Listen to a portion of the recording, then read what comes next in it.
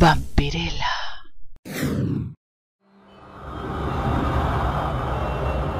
Pronostican el fin de la humanidad en 2050.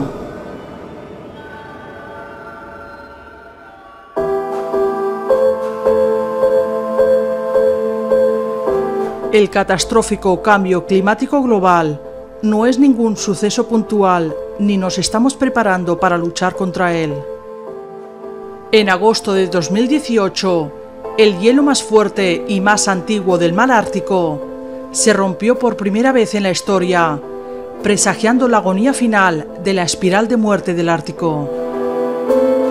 Cada mes aparece un nuevo y aterrador informe sobre cómo el cambio climático provocado por el hombre causa el derretimiento del hielo en el Ártico, lo que resultará en la extinción de especies de animales, y el aumento considerable del nivel del mar que obligará a millones de personas que viven en comunidades costeras a abandonar sus hogares. En septiembre del 2018, el secretario general de las Naciones Unidas, Antonio Guterres, pronunció un discurso de advertencia. Si no cambiamos el rumbo para 2020, corremos el riesgo de perder el punto en el que podríamos evitar un cambio climático descontrolado. En las primeras semanas del 2019 se publicaron nuevos informes científicos que sugieren que es posible que ya hayamos pasado el punto de no retorno. Este nuevo informe titulado Riesgo de seguridad relacionado con el clima existencial, un enfoque de escenario, advierte que dentro de 30 años existe una alta probabilidad de que la especie humana llegue a su fin, como consecuencia de los efectos del cambio climático. Los científicos aseguran que si no se toman medidas urgentes, existirán condiciones más allá del umbral de la supervivencia humana y establece un futuro en el que la sociedad podría colapsarse debido a la inestabilidad provocada por los patrones migratorios de miles de millones de personas afectadas por la sequía, el aumento del nivel del mar, la destrucción del medio ambiente y quizás el fin de la civilización humana global, tal como la conocemos.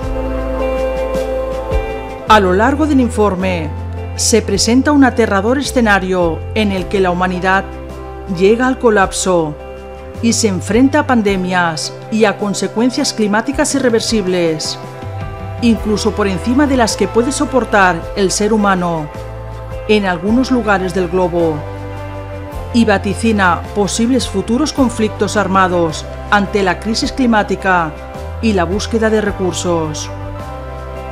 El informe habla de un escenario de tierra invernadero en el que a pesar de que las emisiones se detuvieran de inmediato, la temperatura media del planeta aumentaría un grado. Bajo este escenario, el 55% de la población mundial estaría sujeta a más de 20 días al año de condiciones de calor letal, bajo las que el ser humano no lograría sobrevivir. Además, generaría sequías que acabarían con la selva amazónica que ahora es uno de los mayores neutralizadores de carbono del mundo.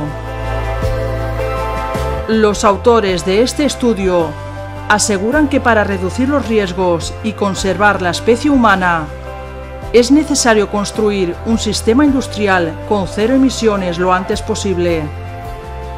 Los científicos señalan a los sectores de seguridad nacional de las principales potencias del mundo para hacer un esfuerzo similar en escala a la movilización de emergencia de la Segunda Guerra Mundial, si queremos evitar un escenario apocalíptico que en 30 años acabará con la humanidad.